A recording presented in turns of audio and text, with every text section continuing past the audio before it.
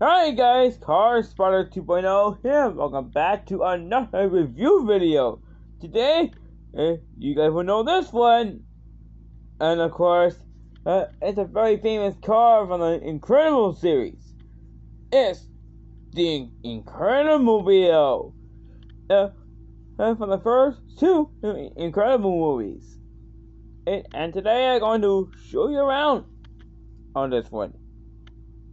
Huh? Uh, well, without further ado, let's go. We're gonna start out with the front.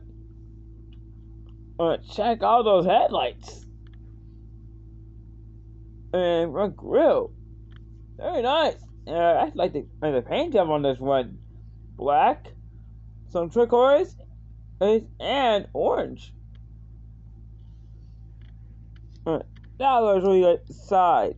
You see how air it is? That's why this car it is built to go very fast. Uh, and yes, this car is actually owned by Mr. Incredible himself. Uh, or his real name, Bob.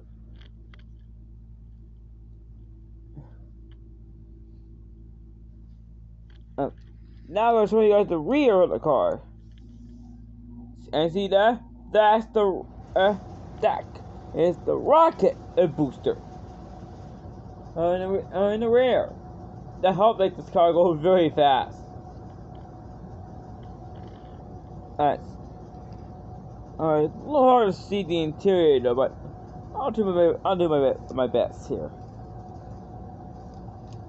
And uh, see, it's a sedan. Uh, well, you guys, what do you guys think? And to the Incredible Let me know in those comments below. And I'll see you guys in our next video. Bye bye everyone.